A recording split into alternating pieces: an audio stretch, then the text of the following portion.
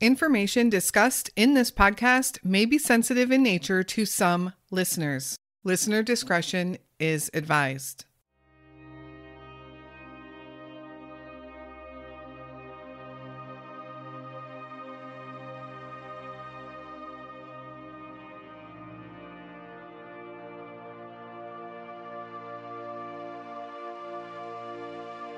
Gregory Williams Harding was going through a hard time in 2014, but he was pushing through. Along with his partner, they were trying to start a dog walking business in San Francisco. But it was proving to be more difficult than he had thought. Money troubles continued to plague Gregory. In early October of 2014, Gregory came down with the flu. He was trying to stay home and rest as much as he could. On the morning of October 10th, 2014, Gregory's live-in partner, Samuel, left for work around 10:30 a.m. When he came home that evening around 7:30 p.m., Gregory wasn't there. Samuel noticed that his wallet and keys were gone, although he did leave behind his cell phone. Gregory was never seen or heard from again. Where is Gregory Williams Harding?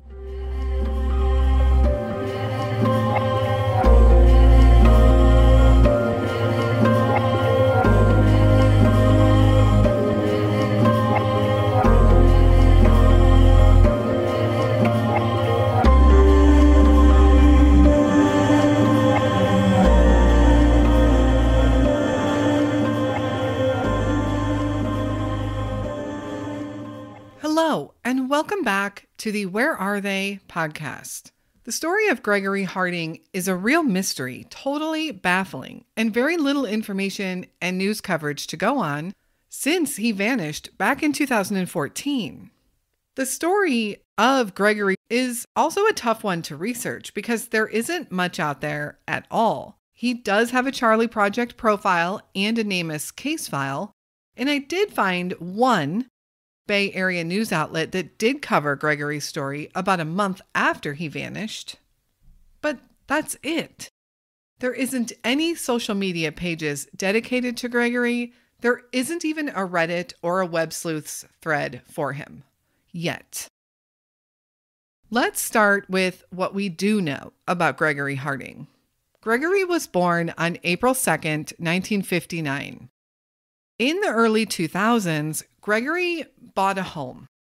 Gregory was also diagnosed as HIV positive and was taking medication regularly, daily, in fact. Otherwise, Gregory stayed pretty healthy.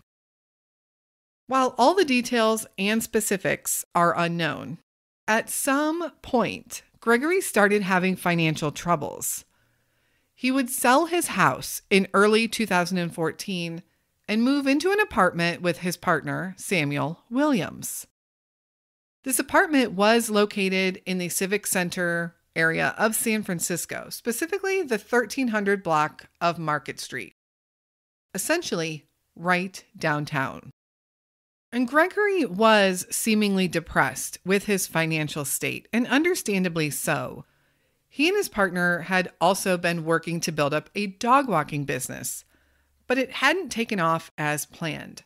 Although they did have regular clients, and Gregory walked the dogs every morning. Aside from his morning dog walking routine, Gregory was struggling some days to even get dressed and get out of bed. Samuel had been worried about his depressed state. To make matters worse, in early October, Gregory came down with the flu. Despite all of this, Samuel said that Gregory was still somewhat upbeat about the dog walking business and still got up every morning to walk the dogs. The disappearance.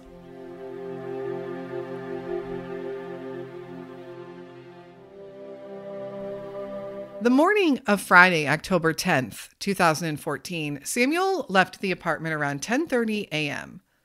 Samuel said at that time Gregory was laying down because he still wasn't feeling well. Samuel told Gregory just to rest, but Gregory told him that he would have to, at some point during the day, go to the social services office to see if his disability check was finally available. Other than that, he didn't plan on going anywhere.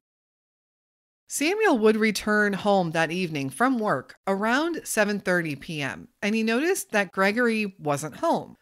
Samuel also realized that Gregory's wallet and keys were missing, so he assumed that Gregory had likely just gone to the store.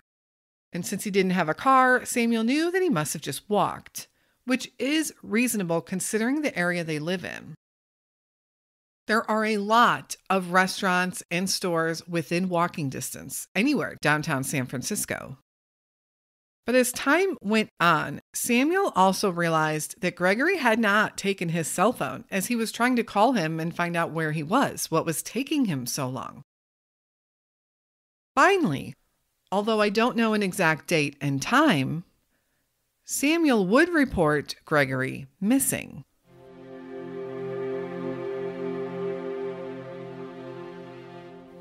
The Search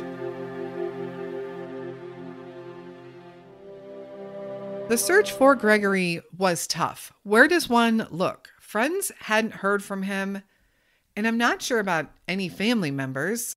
Nothing regarding any family is ever discussed in Gregory's case. That doesn't really mean much since there isn't a whole lot of information discussed to begin with. So let's start with the area that he was in the Civic Center area of San Francisco, specifically Market Street. And we can narrow it down even further than that. We know his apartment was located on the 1300 block of Market Street. We also know that when he left his apartment that day, he was on foot and he took with him his keys and his wallet. The part of San Francisco where Gregory lived is pretty much a downtown area. San Francisco as a whole is known to be artsy, but this area of Market Street has government buildings with stunning architecture.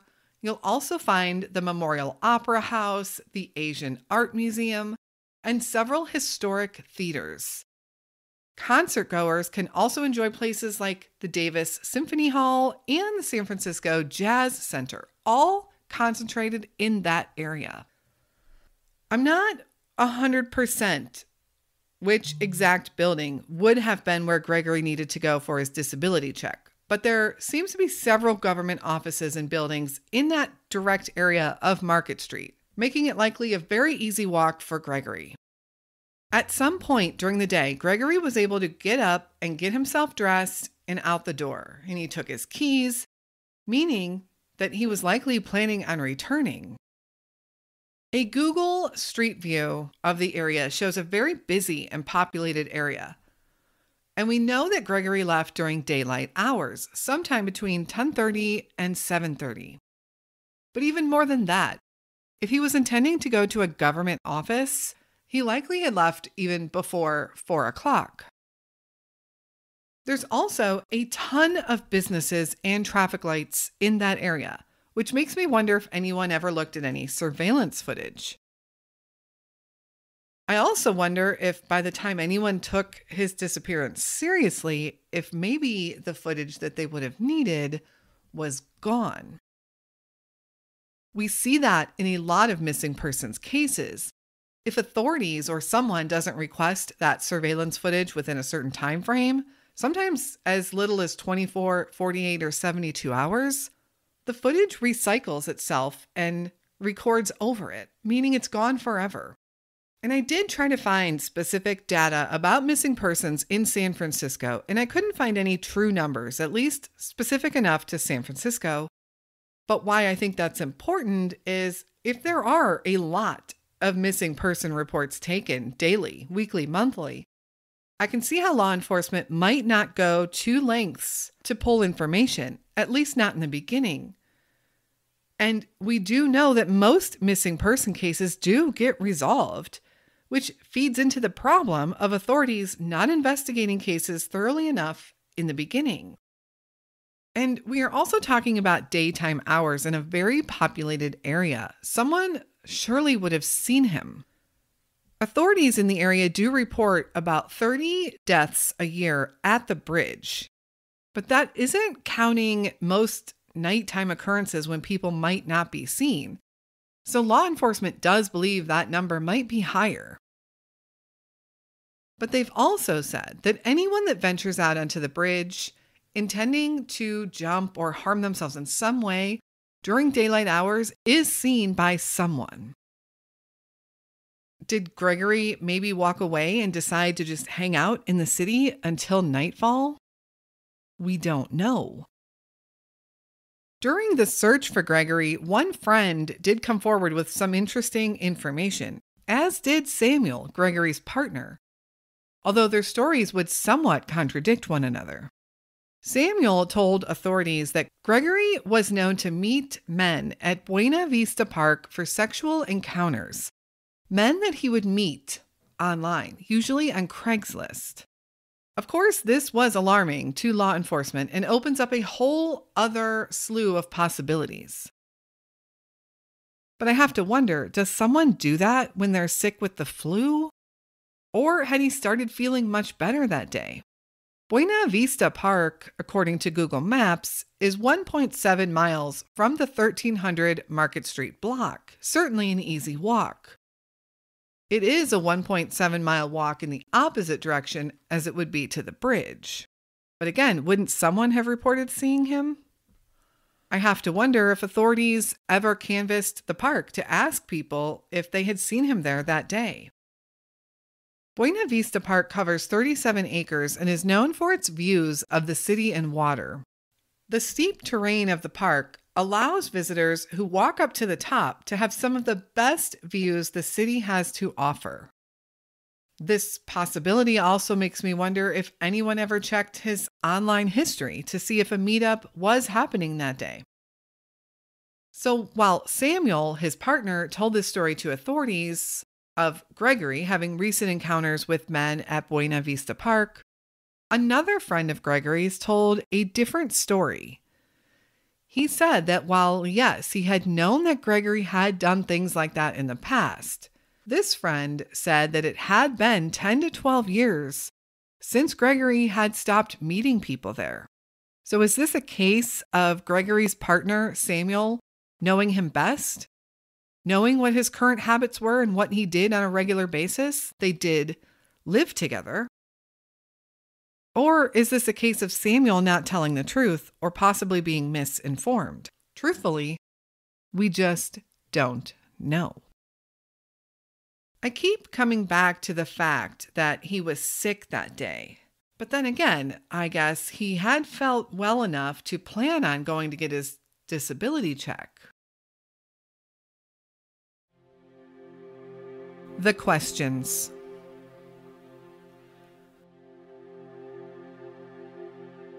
As I mentioned, we don't have much to go on. I'm sure there have also been additional investigative tactics used, hopefully, both by law enforcement and friends or family, but we just don't know all of those details.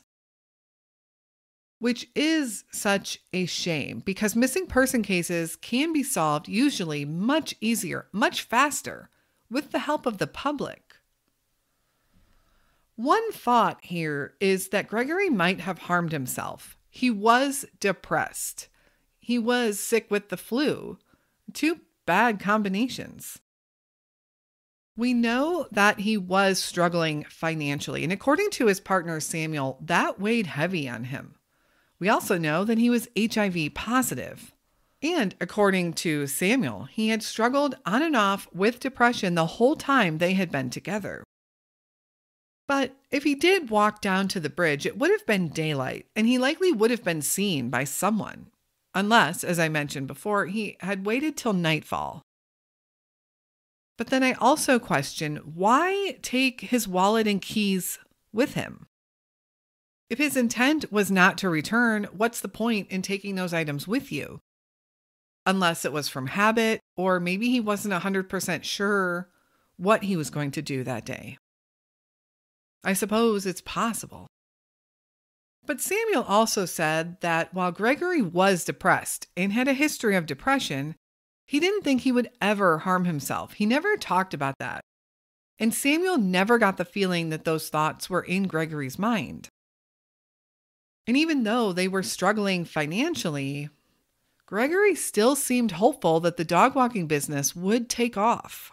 But I guess sometimes you just never know what's going on inside someone's own head. In San Francisco is a large, bustling city. I'm not sure if there are any other spots within the city that you would go to disappear.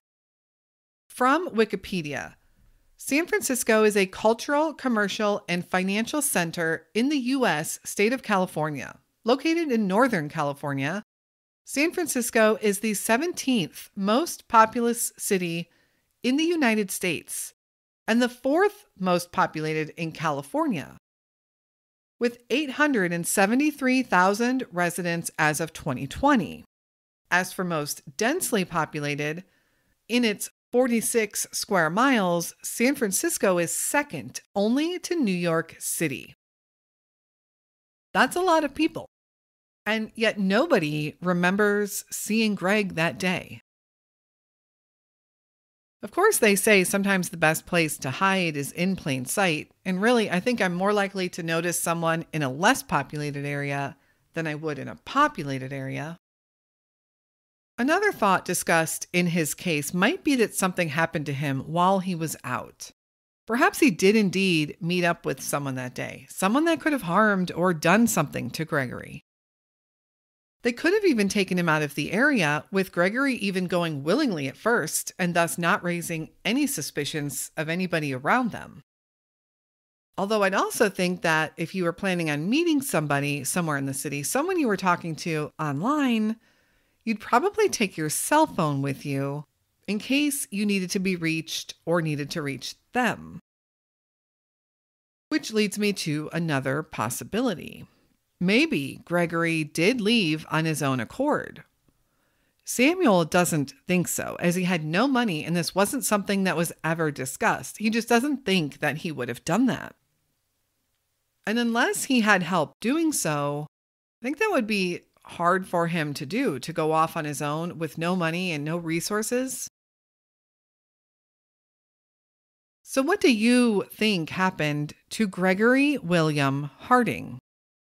Gregory was 55 years old when he was last seen on October 10, 2014, in the Civic Center area of San Francisco. He would now be 63 years old. Gregory is described as a Caucasian male, standing about six foot tall and weighing around 180 pounds when he was last seen. He has graying brown hair and blue green eyes. Gregory also had a short beard and mustache at the time of his disappearance. Samuel believes that Gregory was likely wearing a black vinyl jacket with a fur collar, a black t shirt, blue jeans, and brown shoes on the day that he disappeared. Gregory also needs daily medication, medication that he did not take with him the day he left. If you have any information on the whereabouts of Gregory William Harding, please contact the San Francisco Police Department at 415 558 5508.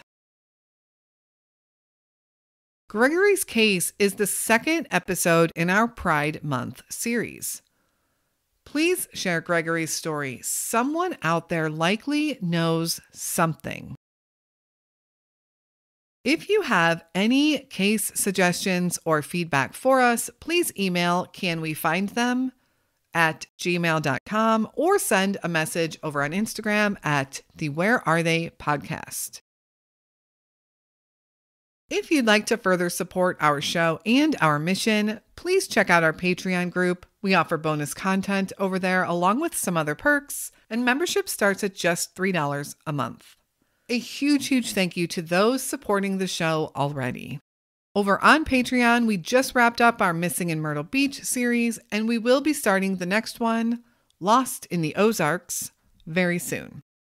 You can find the link in our show notes or at www.patreon.com slash where are they podcast. Thank you all again so, so much for tuning into the show today and listening to Gregory's story. We will be back again next week with another unsolved missing persons case. And until then, stay safe and hug your loved ones.